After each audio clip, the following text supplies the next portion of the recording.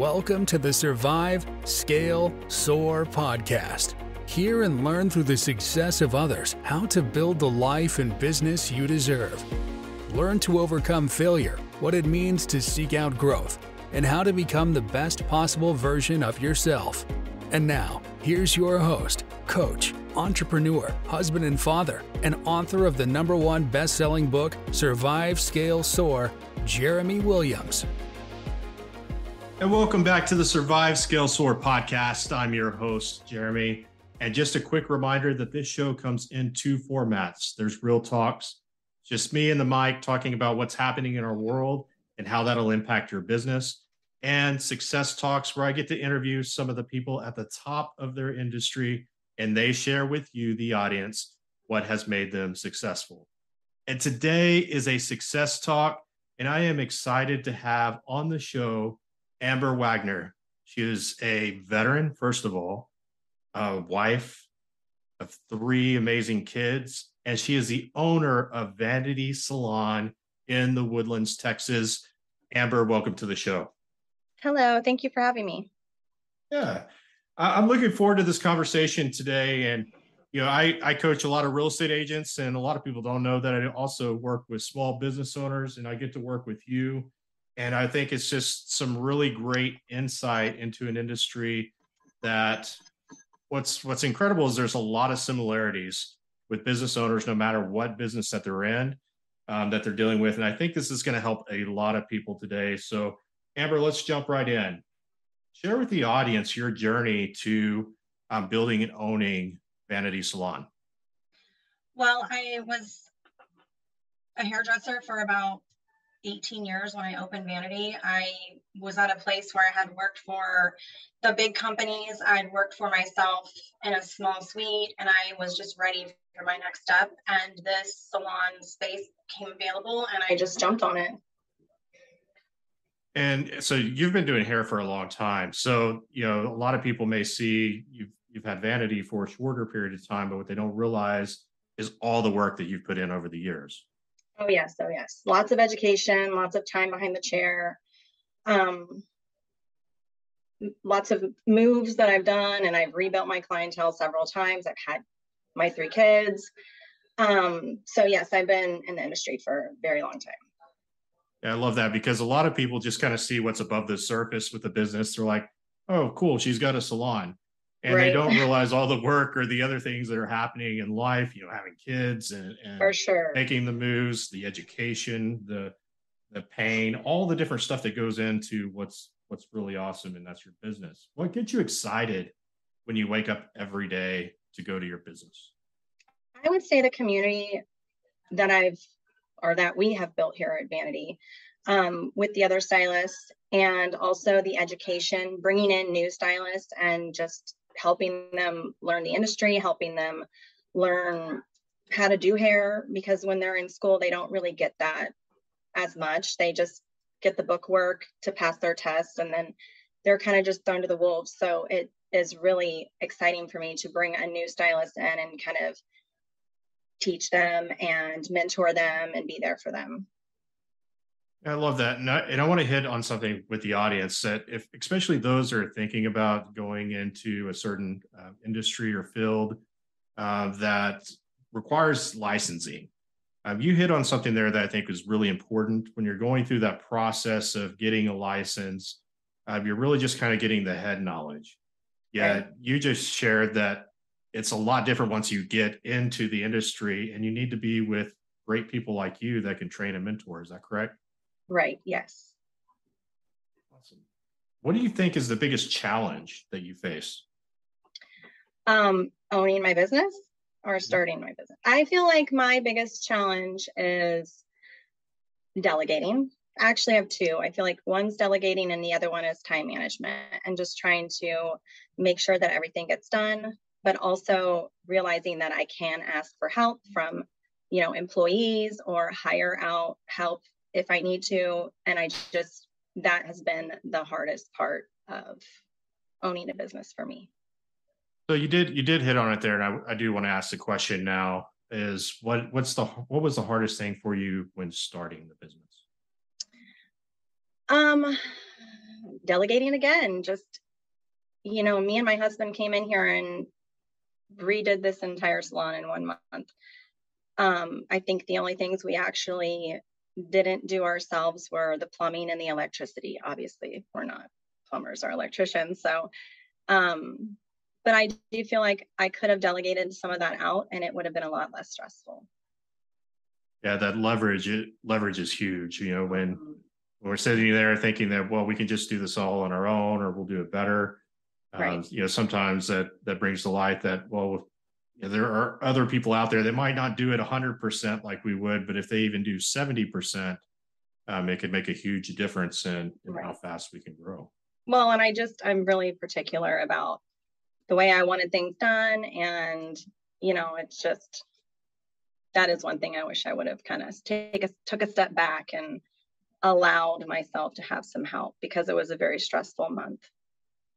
So do you think that that being particular, do you think that's because of the brand that you want people to come in and experience? You want it to be in a certain way that it reflects you in the business and the experience they should get?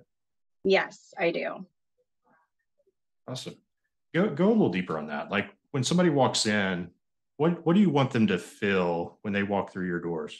I want them to feel welcome, first of all. I want them to feel like they're walking into a place where everybody knows their name right? If you're a client here, I want people to stop what they're doing and when you walk in say hey how are you? Who are you here to see? Let me get them you know customer service is huge for me and i wanted that. But i also wanted people just to see something like artsy and not so cold and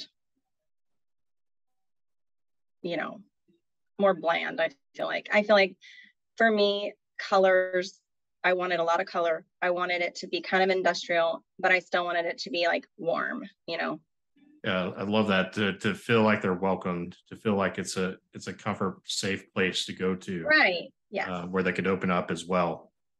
Yeah. Uh, yeah, I love that. Yeah, and you said where everybody knows your name. So younger, my younger audience probably they will not get this, but and I'm not gonna sing it. The Cheers TV show. That's why they were so successful because it was a bar where everybody knew the name. So I love that. What is what is a lesson you've learned since opening the business and how have you applied that? I have my gosh, I've learned so much opening in this business. I I would not have ever called myself um,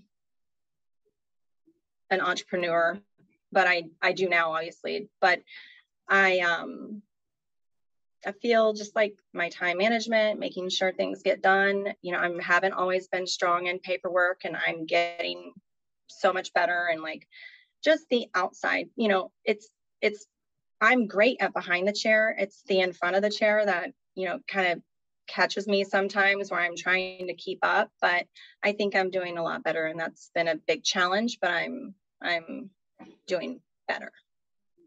And I see that with a lot of business owners. I coach a lot of real estate agents, obviously, and and they could be really, really good at the sales part, but mm-hmm. absolutely horrible at managing the behind the scenes, the administrative side of the business. It's really hard and, to balance, but you, know, you don't, you probably don't realize as many hats as you wear, um, especially when you start out as a solopreneur, and then as you even as you grow, uh, you you probably have identified, hey, there's some skill sets I need to work on, and um, yes, you know, it's a constant growth it's a little humbling at times, but it's good and and growth is good and it's necessary. So so when you when you started out and you initially opened up the salon, were you anticipating that these things were coming or is it something that it's like, okay, I've got to I got to regroup and figure this out?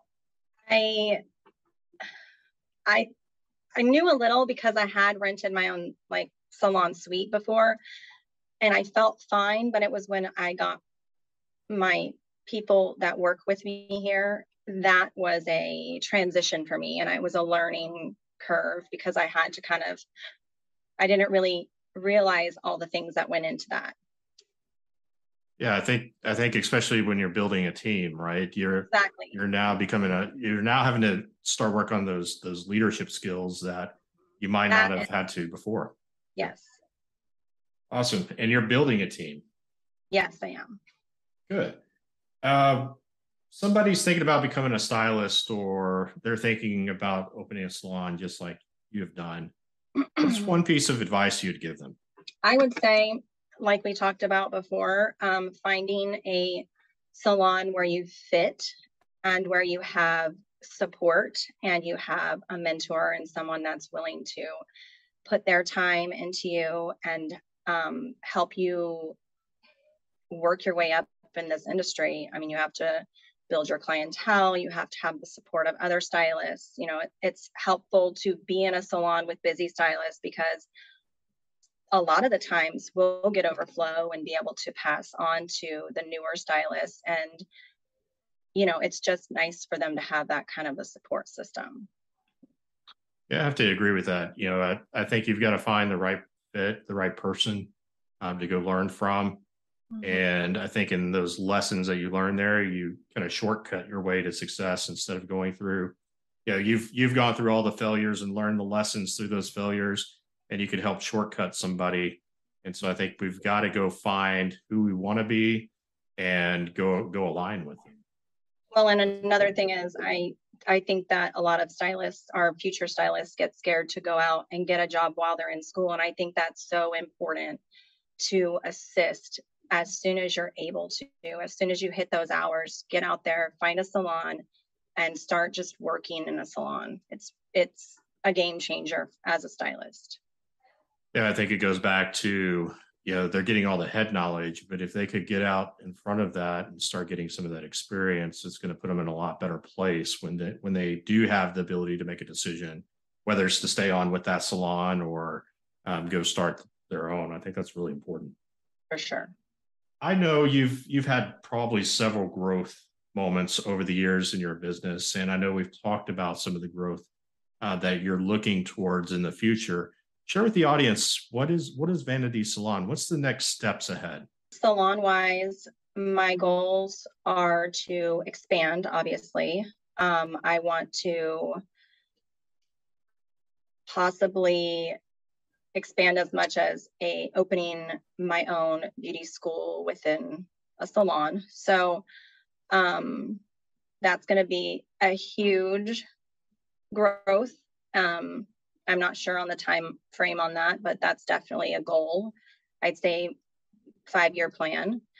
Um, also, I'm starting my own hair extension line and I'm trying to get that launched by next year. I just want to continue here in the woodlands growing my team and um, keep doing hair behind the chair. I think that's great. You have that vision, and and both those things you mentioned, I know, are not like overnight. Hey, I could start this tomorrow. It requires a lot of planning. It requires finances. Um, it requires timing, and so getting all those things in line. But I think it's really important that you do have that vision. I see a lot of business owners that are out there, and they're just kind of floating in the wind. You know, if growth comes, great. If it doesn't, uh, you're being very purposeful about that. Tell about the services that you offer at Vanity Salon. Well, we pretty much offer every hair service um, extensions, cuts, colors, highlights, specialty colors like balayage, um, color correction. We offer Brazilian blowouts. We do, I've been doing so many perms, do perms. Um, we also have an esthetician here at the salon. She does facials, she does um, microdermabrasion. She has a lot of cool little gadgets in there that she works with. You know, you could even come in, pop in weekly for a shampoo and style out. So we offer pretty much everything. Can you can you fix this back here for me? I've got this oh, this yeah, bald spot that's starting I to I got you. show up. All right, that's that's great that you have all those services. You know, there's a lot of places you'll go into that offer one or two different things, but it sounds like you've got almost you're pretty close to a one-stop shop. And then with the new things that you're adding, um, mm-hmm. that's that's going to be amazing for for your clients. So somebody's listening to this. Uh, they live in the, the, salon is in the Woodlands, uh, Texas. It's north of Houston, Montgomery County area somebody's listening to this and they want to book an appointment with Vanity Salon, how do they do that? Um, they can call the salon or they can check out our website. Uh, it's vanitysalontx.com. And there's a link on there that they can click and fill out what they're wanting, and we'll get right with them or they can call. Great. And y'all do walk ins too, I'm assuming. We do offer walk ins, yes. Great. So if you want to book an appointment with Vanity Salon, um, either with Amber or one of her team members, visit Vanity Salon TX for Texas.com. Again, Vanity Salon TX.com. Uh, Amber, I really appreciate you being on the show today. Uh, there's Thank a lot you for of lessons. having me. Yeah, I think there's a lot of things that you shared here that is going to help somebody out there. It doesn't matter the business that they're in. Um, I, you know, one of the things I I heard and you know impacted me was the leverage portion. Like find those good people around you that can help you uh, grow important. to where you want to go. Yes. Awesome. Well, Amber, thank you again for being on the show. And until next time, onward and upward. Thank you for listening to the Survive, Scale, Soar podcast. If you heard something that made a difference in your life today, share it with someone that might benefit and subscribe so you don't miss the next episode. Learn more about the host of this podcast and coaching services offered by Red Hawk Coaching by visiting www.redhawkcoaching.com.